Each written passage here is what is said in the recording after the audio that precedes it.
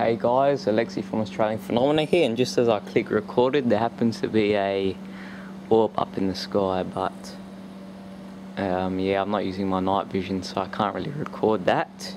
But that comes to my next, what I'm making this video about, and that's this little application I've got. Oh, I can still see the orb, but I you won't be able to see it. Oh, you can see that star, you might be able to see it. Oh, it changed direction. Anyway, um, this is a satellite tracker that I've got. I go to visible only, and here's all the satellites that are visible in my area. So if I click on this, I don't know what the hell just happened there. Okay, the camera's not turning on, but anyway, this little target that's on the side of my screen like pinpoints where the satellite currently is, so it's obviously like down there. But you know, unless that was a satellite, I don't know. But, yeah, it could be any one of these. It'd be good if the camera turned on. For some reason, it's frozen there, so usually it turns on with the camera so you can like actually pinpoint now this is underground not underground but I don't know why that's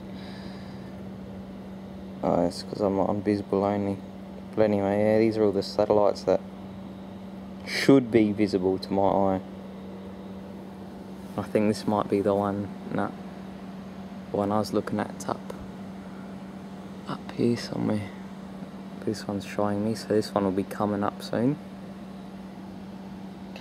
it's a cool app. Um, hold on, let me just...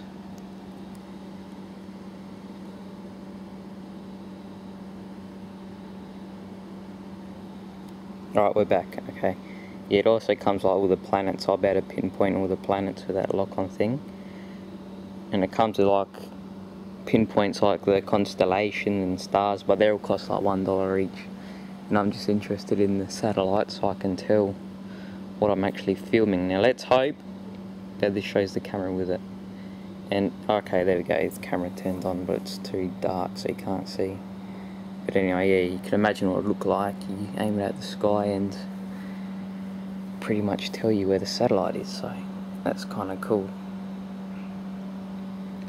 So yeah, that's just something I just downloaded. I thought I'd share with you, come outside and do that, and I happened to see an orb.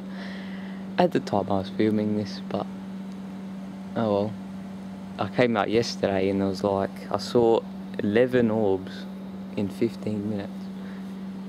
I'm sure half of them would have been satellites, but they just, they just didn't stop. But yeah, anyway, I'm ordering a monocular off eBay, so hopefully I'll be getting that soon and coming back with more footage.